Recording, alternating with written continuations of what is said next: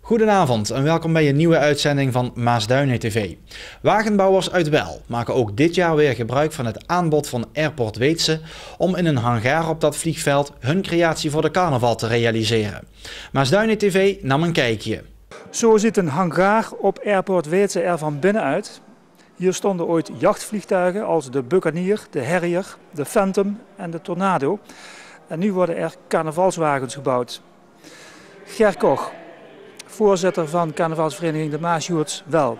Wanneer heeft carnavalsvereniging de Maasjoerts voor het eerst gebruik gemaakt van deze faciliteit? Volgens mij, Piet, was het 2007. Het zou 2008 kunnen zijn, maar ik denk zeker vijf, zes jaar geleden zijn we hier begonnen. Ja. En hoe is het contact ontstaan met het vliegveld? Iemand in uh, wel, nogal een warm hart dragen naar de vereniging, werkte hier. En al een keer pratende met hem over de problematiek met betrekking tot wagenbouwplaatsen, zei hij, zou dat een optie kunnen zijn als we toestemming krijgen om? Ik zei, nou, het is dicht in de buurt, het is gigantisch groot. Zullen we eens gaan kijken? Nou, we zijn hier naartoe gegaan. Ik zei, jezus, wat een oppervlakte. Nou, hier kunnen zeker negen wagens in. Dat zou in één keer een hele goed probleem oplossen. En hij heeft toestemming gevraagd aan de vliegvelddirectie. En dat was gelijk goed. Met voor ons relatief makkelijk in te vullen condities. Oké.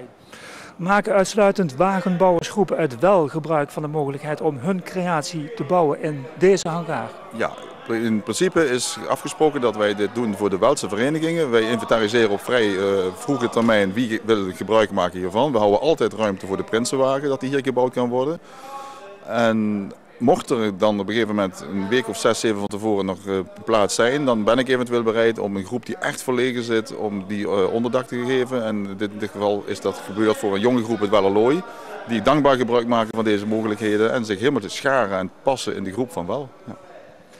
Moet er door de gebruikers wel een vergoeding worden betaald, bijvoorbeeld voor de elektriciteit? Helemaal niet. Het is volledig gesponsord door Vliegveld Weetse. We zijn in hele goede contact en een hele goede relatie met Lutger van Bebber. En het enige wat wij moeten doen, of wat gevraagd is te doen, hou je aan de afspraken. Zorg voor goede discipline.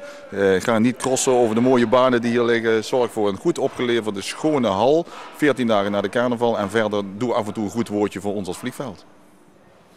Ik neem aan dat uh, jullie nog tot in lengten van jaren gebruik willen blijven maken van deze faciliteit op Airport Weetse. Absoluut, dit is echt uniek en als je ziet de entourage hier op dit moment, de samenwerking onderling, hoe ze elkaar helpen, de jeugdigeren en wat iets meer ervaren mensen.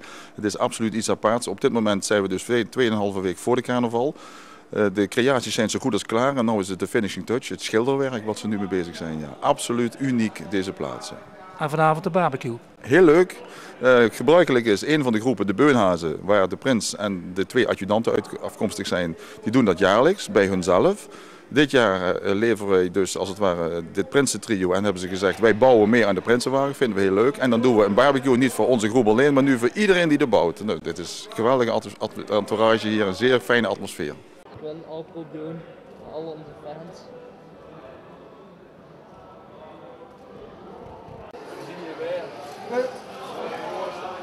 Je komt wel op het slechtste moment, dat moet ik wel zeggen. Wat vind je van de mogelijkheid om hier in zo'n hangar te kunnen bouwen?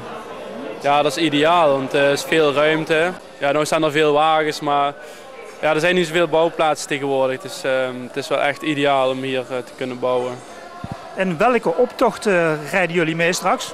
Uh, sowieso de, de, gewoon de optocht in Wel. daarna de lichtoptocht nog in Wel. En ja, misschien dinsdags nog in Aaien. En er wordt in de groep al een beetje gespeculeerd of we misschien nog naar Bergen te gaan maandagmiddag. Vanwege dat daar een jubileumoptocht zou zijn. De eerste editie van de regio-optocht? Ja, ja, ja, daar zouden we misschien aan mee willen doen. Maar dat moeten we nog even kijken. Wat vinden jullie van de lichtjesoptocht in Wel?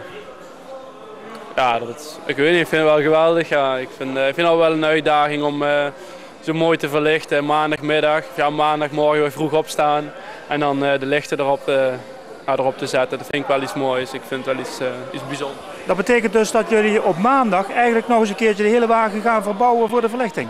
Ja, in principe hebben we dat wel elk jaar gedaan. Maar we hebben dit jaar uh, vooral uh, veel lampen er al in zitten. En er gaan nog, inderdaad, maandag gaan er nog een heel hoop lichtslangen op. En dat wordt puur gedaan maandags vanwege dat ja, er wordt veel kapot gemaakt aan het plakwerk. En dat proberen we zo min mogelijk te beschadigen. voor de gewone optocht. Ja, en het resultaat dat kunt u gaan bekijken tijdens de diverse carnavalsoptochten in de gemeente Bergen. Tot zover deze uitzending van Maasduinen TV. Bedankt voor het kijken en graag tot een volgende keer.